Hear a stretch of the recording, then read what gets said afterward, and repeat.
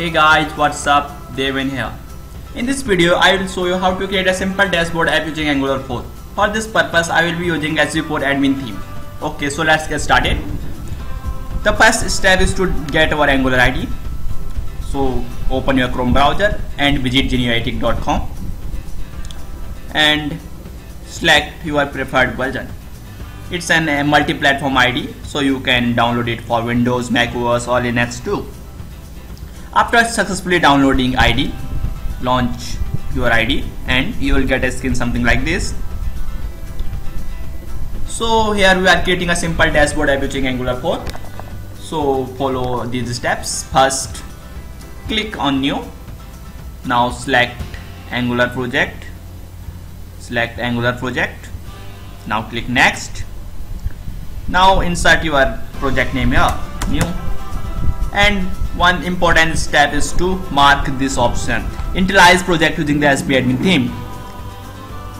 Now click next it will take 2-3 minutes to successfully initialize our project.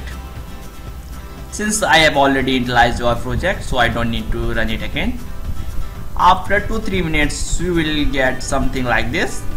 This is the directory structure of Angular 4 now we have to open server for our app. So go to angular CLI and click on your project and right click and click start server. It will take at least one minute to start your server. After starting your server you will get a screen something like this.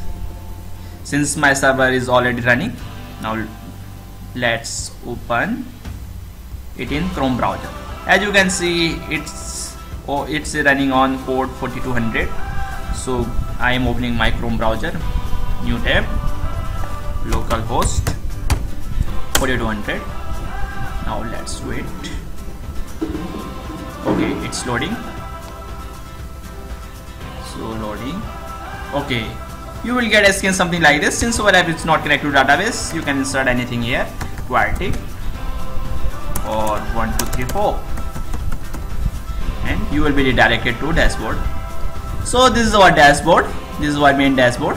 As you can see you will get all the necessary elements for creating angular 4 app like dashboard charts tables charts tables forms bootstrap element bootstrap git component menu etc and it will save you a lot of time. It's important. It will save you a lot of time. So let's take a quick overview of our code in our angular id so click on your project. Source folder. Click on app let's take an example of uh, mm, home. This is our main index ts file. It is automatic it is automatically created. Home routes file. This is root file. This is our module file. This is our component file main component file as you can see this is our home HTML file or home component.html file. So it is automatically created. Okay. So you get all the necessary elements here like component module routes as HTML file. These are automatically created file. So it will save you a lot of time so that's it for this video. And one thing I want to share with you guys is we are publishing an article for creating angular dashboard. It will be full-fledged tutorial for creating or e creating an e-commerce dashboard using angular 4 it will be article based tutorial.